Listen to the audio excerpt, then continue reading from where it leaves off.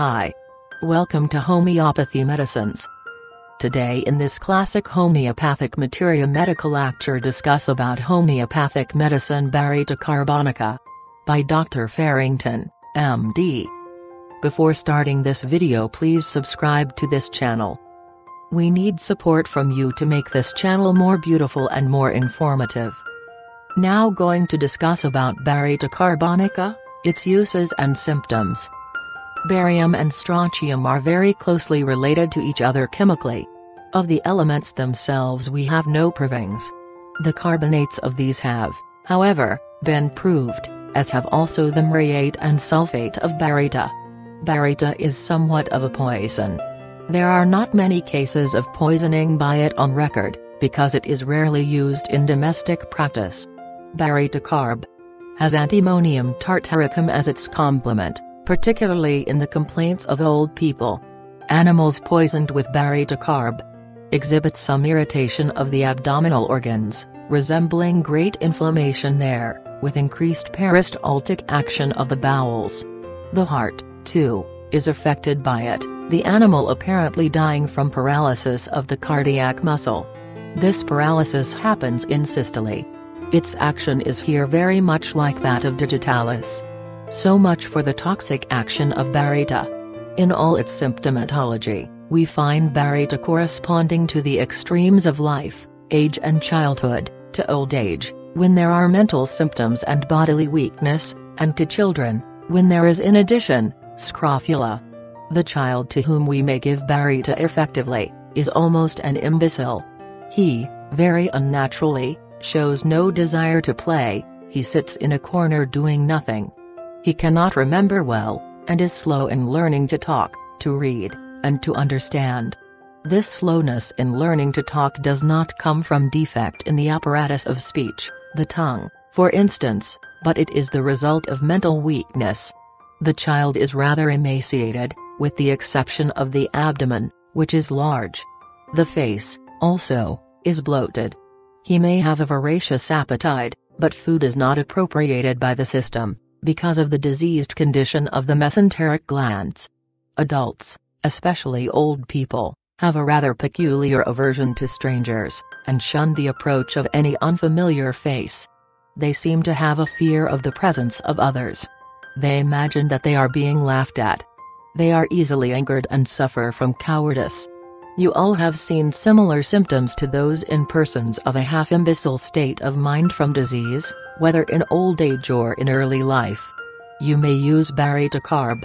For old people when they suffer from paralysis, particularly paralysis following apoplexy. Very frequently in old people, the brain shrinks and, as the skull does not yield, there would be a vacuum formed, were it not that an effusion of serum takes place. This is followed by a more or less severe paralysis. You will find in such cases, that the patient is childish, and has loss of memory, trembling of the limbs, and well-marked paralysis of the tongue.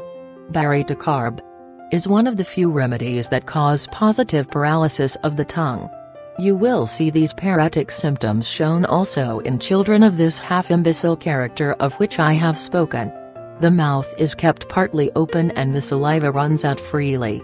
The child has a silly, vacant look, showing at once that it is non-compos mentis. Both the muriate and the carbonate of baryta may be used in multiple sclerosis of the brain and spinal cord. This is not an uncommon disease in infants and children. When associated with the symptoms just enumerated, you may use baryta for non-development of the brain in early childhood. The chloride of baryta has been used by old school physicians for this sclerosis, and with more or less success. The remedy which most resembles baryta here, is causticum. The use of baryta in catarrhs demands attention. It is one of the best remedies we have for the tendency to tonsillitis, particularly in scrofulous children.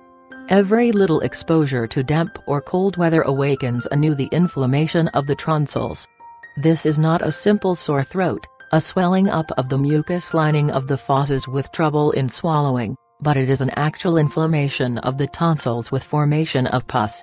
In these cases you will find enlargement of the glands in the neck, under the jaw, and behind the ear.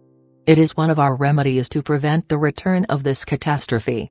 It changes the constitutional tendencies of the patient. It is thus more the remedy for the effects of the trouble than for the acute symptoms. The local symptoms for the throat are principally these, the right side of the throat is worse than the left, just as you find under belladonna, the throat feels worse from empty swallowing. In reference to tonsillitis, I frequently use the same prescription that I employ in diphtheria, namely, a gargle of alcohol and water. This seems to remove the accumulation of phlegm from the throat. Baryta may also be used in children who, in addition to this tonsillitis, have postnasal catarrh. Scabs form in the posterior nares.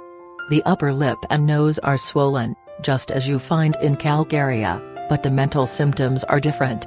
Baryta is also called for, for a chronic cough occurring in strumous or scrofulous children with swollen glands and enlarged tonsils. Every little exposure to cold or damp causes headache, backache and diarrhea. Here Baryta is similar to Dulcamara. We find Baryta also indicated in old people who have what is known as suffocative catarrh, with orthopnea. I think you can understand this when you remember the influence of Baryta on the voluntary and involuntary muscular fibers. It paralyzes them. In old people, the chest is very much weakened. They get a catarrh, which is not so severe, but appears suddenly in the night.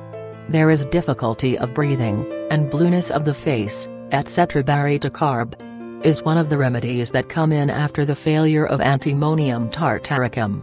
We also find baryta of use for the fatty tumors which occasionally appear here and there over the body. It is very easy to remove these with the knife.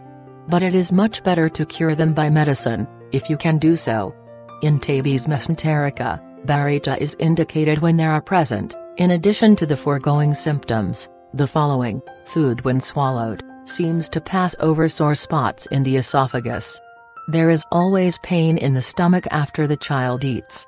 The stool is sometimes undigested. With this, you find the abdomen hard and swollen, and an offensive sweat on the feet, just as you find in silicea. Now, there are remedies which may be compared with baryta in this form of disease. Iodine is similar to baryta in that it is suitable in torpid cases. The complexions of the patient in the two remedies are different. The iodine patient has a dark complexion, dark hair and eyes, and sallow skin. There is, too, extreme hunger. If you observe the child carefully, you will find it anxious and fretful, until he eats, which relieves him for the time being, and yet he grows thin despite the quantity of food consumed. Then there is a mental symptom which is almost always present when you find iodine indicated in tabes mesenterica, and that is intolerable crossness, which is even worse than that belonging to antimonium crudum. Calcarea phosphorica is indicated in children who are weak-minded, who cannot walk, although they are old enough to do so, who are anxious and restless in their manner, and who suffer from defective osseous growth. The bones are thin and brittle. Like Baryta, the silicea patient suffers from damp changes in the weather. He also has offensive sweat and general emaciation with the exception of the abdomen. The difference between the two remedies lies principally in the mental symptoms. The silicea child is obstinate and self-willed, and, 2, his head is disproportionately large to the size of the body. Calcarea iod is similar to baryta in some cases with enlarged glands particularly when there are enlarged tonsils which are filled with little crypts or pockets. Conium is suited to enlarged tonsils without any tendency to suppuration. Lactic acid has copious sweating of the feet, but it is not offensive.